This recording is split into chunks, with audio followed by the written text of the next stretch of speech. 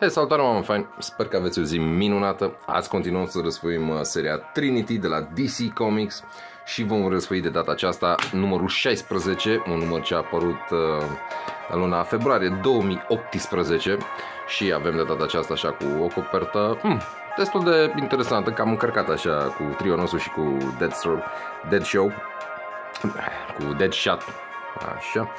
Numai că ce observăm, chiar dacă na, prețul a rămas la 3,99 dolari, 4 dolari americani, se pare că au schimbat puțin așa logo, adică dacă, să zicem, până la numărul 15 aveam pe formatul acesta de sus, de data aceasta au trecut pe partea de DC Universe 16, mm, dar nu-i rău. Și avem așa, Ringing in the New Year with Deadshot și acesta este așa un story standalone, doar de un singur număr să vedem așa și cine s-a ocupat de acest număr și avem așa așa old acquaintances sau old acquaintance acquaintance. Avem așa un story de Rob Williams, pencils de VK Marion, inks de Sandu Floria, evident, colors de Dine Ribeiro și covers de Guillermo March. And uh, Tomeu Morey. Da, interesantă uh, poveste așa, din numărul acesta. Uh, Metal Apparel, da, da, da, nice. Chiar dacă na. S-a mers așa puțin pe culori, așa puțin mai închise, mai, uh, mai serioase din anumite puncte de vedere, pentru că și povestea în sine e mai închisă, mai serioasă. Dar destul de interesantă, să zicem. Nu e cea mai wow poveste, dar ne oferă așa câteva planșe, câteva cadre destul de interesante cu personajele noastre avem așa și pe Wonder Woman cu Superman, care se vor confrunta și cu niște răufăcători um, ce au legătură cu main plotul acestui număr.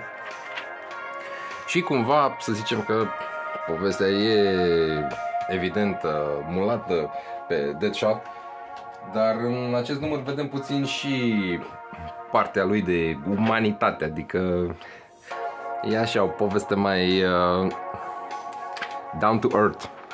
Adică poți să înțelegi uh, acest personaj care în mod normal este negativ, așa, e un villain. Uh, Doomsday Clock, uh, Rocher, da, foarte fain, foarte faină coperta. Time's Up, evident, normal, bullet to the head, headshot. Adică, na, marca Deadshot, never misses. Și, na, Go, go spend time with the ones you love. The end. Hmm. Mai avem așa The New Age of DC Heroes. Ok. The DC Universe just got bigger. That's what she said. Hmm. Interesant. Ce mai avem așa?